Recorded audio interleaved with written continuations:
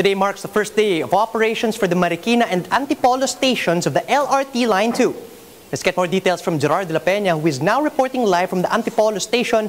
Gerard, good afternoon. What are you seeing? Uh, how's the situation over there? Charles, today is the first day of operations of the two new stations of the LRT Line 2, where passengers complained of some inconveniences. The operation started at around 4.30 in the morning, where the Light Rail Administration or, or LRTA noted good demand. Some passengers that we talked to said this is very convenient as they don't have to take another ride coming from Santolan, going to Marikina or Antipolo.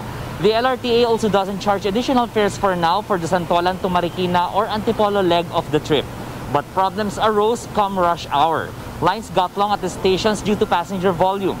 LRTA spokesman Attorney Hernando Cabrera said there is only one train that shuttles passengers between Santolan and Antipolo.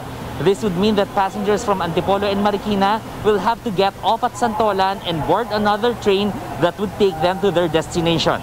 Trains can't go straight as signaling systems aren't integrated as of yet. That's why some passengers opted to just get off the station and take other modes of transportation as they were told that waiting time at the platform could take about 20 to 30 minutes.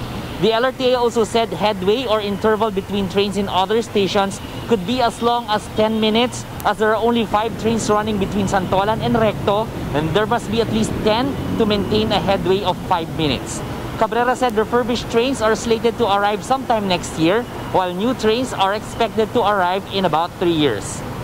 Just, just to manage the, public expect, the public's expectation, this scenario could drag on for the next two weeks. So uh, uh, commuters who opt to take these stations should be here early to avoid any inconveniences.